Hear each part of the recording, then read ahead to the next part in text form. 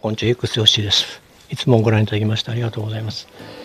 えー、ね、玄関の方の剪定もね、これ終わりましてね、きれいに切って、素人なりに切りまして、で、あの、でかい巣にはえらいことになりましたけども、これきれいにね、あの、つるをこう巻きまして、剪定しまして、まあ、これから冬ね、こう迎えね、どういうふうにしたらいいかなっていうようなね、感じになります。まあ、あのブドウとかあのイチジクね角田とかそれからブルースウィックこれをこっち持ってきまして来年ねあの夏はね、まあ、こういう体制でいくかなというふうに思うんですけどねナイアガラとかその辺はあの結構実ってるやつは今までもう何回か収穫しましたんで少しねあの別のところで、えー、育ててもらおうかと思うんです。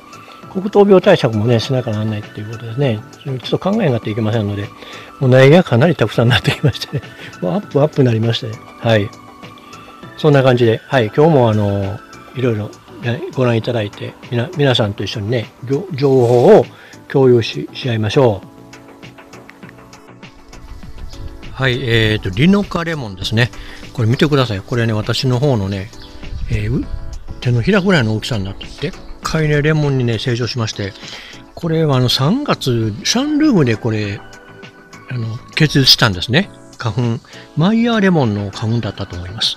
それで、えー、つけて、えー、結実させて、もうずっとこれね、夏も超えて、今10月の末にかかってきてますけども、これ、そのままだったんですね。はい。ですが、もうあの、だんだん、あの、黄色くこれ、なってきてます。はい。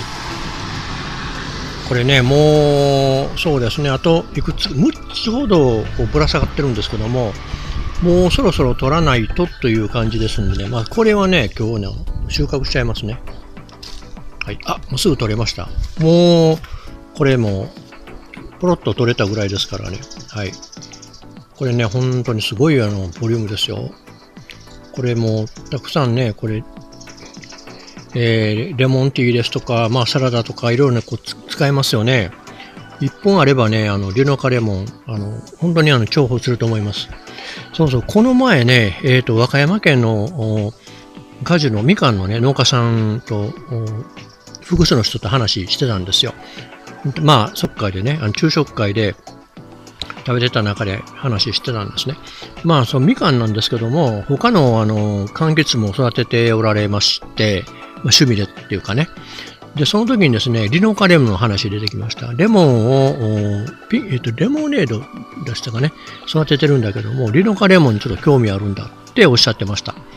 で、やはりあの、その時に私の情報としてはね、リノカレモンかなり人気で、苗がね、かなり、あの、争奪戦みたいな方になったようですよ、ということで、なんかそんな、あの、うん、手に入りにくかったな、とかって言って、ポロッとおっしゃってました。で、あの、農家さんのやっぱり情報では、リノカレモンは、海洋病に強いということをまずね、あの、挙げておられました。で、味はどうなのって言って、よくちょっとご存知なかったようだったんで、でちょっとまあ、あの、情報でね、申し上げたんですけども、もレモンの味そのものはですね、やはりね、ユーレカレモンとか、ね、シリアレモンとかね、ああいう系統の方が寒さには弱いんですけども、良いと思います。はい。ですから、レモン本来の味をね、育てたいんだったら、温室用意してでもですね、ユーレカレモンとか、シチリアレモンとか、まあ、瀬戸内レモンですか？あ瀬戸内レモンっていうのは日本の命名なんかな？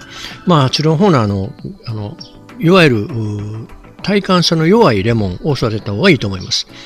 で、あの、このリノカレモンとかマイヤーレモンは、あえっと、リノカはヒューガナツとのハイブリッドですね。それから、えー、マイヤーレモンはオレンジとのハイブリッドです。ですから、本来レモンの持つその香りとか豊かさというのはやっぱり少ないんですよ。そこはね、ちょっと申し上げておきます。僭越ながらね、農家さんに申し上げておきます。まあ、どっちか食べると、レモンよりは、やはりあの、交雑種なんで、えー、レモン本来の味はやっぱ少ないですよと。と思いますと言っておきました。あの、リノカリモンは海洋病に強くてたくさんできます。で、実りの方も結構他のレモンから比べたら早い。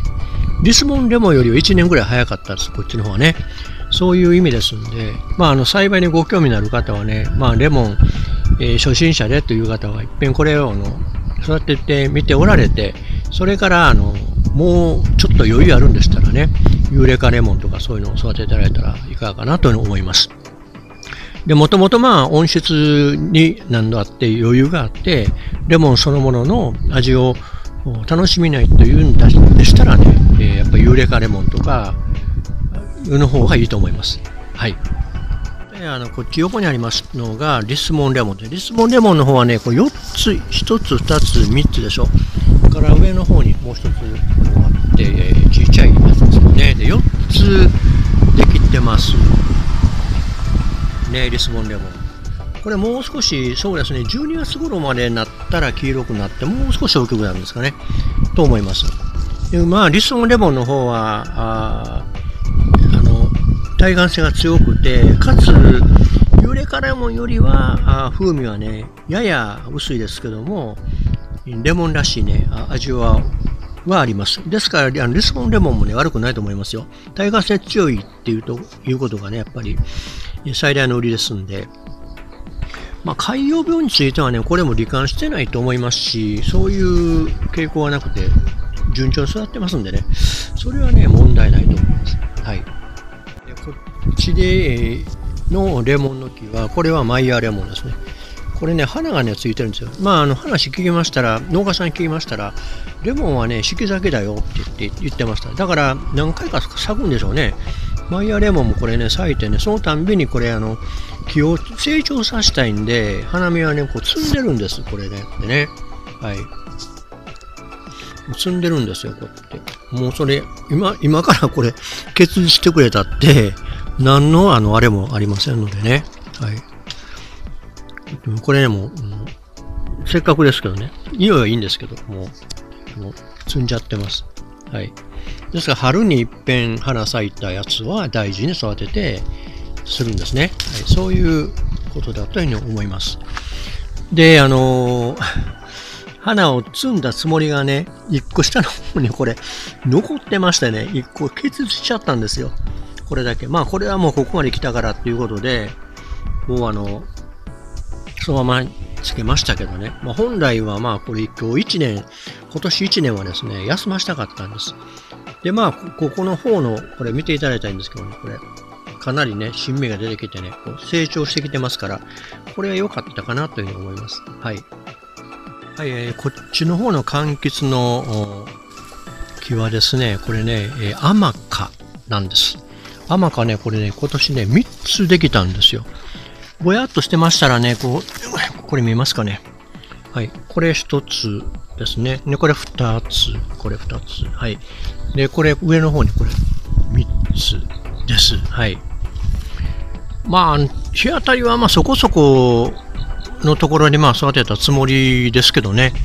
えー、ですけどまあ、あの、どうかな。初めて収穫して、まあ実はこれ綺麗な実になったんですけども、どんな味なんかなって言ってね、えー、茶とかに似た味ですからね、かなりあの美味しい実だと、まあ自分ではね、そうに思ってるんですよ。はい。たくさんできるという触れ込みなんですが、気がまだこれね、本当に養木でしょ。であんまり見逃せない方がいいんで、まあ最初2つかなって言ってたけど、よく見たら 3, 3つできてて、あれっていう話ですからね。これがもう大事に育てて、少なくともそうですね、私の背の高さぐらいまでなるようにはね、頑張ってやらないと、それまではまあ下の方はこう剪定しますけども、やはりパカパカパカパカね、切らない方がいいと思います。はい。こっちの下の方なんかはね、これいらないの。こういう枝とか、こういうのはね、もうこれなんかも切ったらいいかなと思うんですけど、これ、これとかね、これこれ、こういうのかな。それはね、あの、切った方がいいと思うんですよ。えー、ですけど、もう上の方はそのままにしてます。これはい、えっ、ー、と、アマカ。アマカです。はい。さて、いかがだったでしょうか今日はこの辺でね、失礼いたします。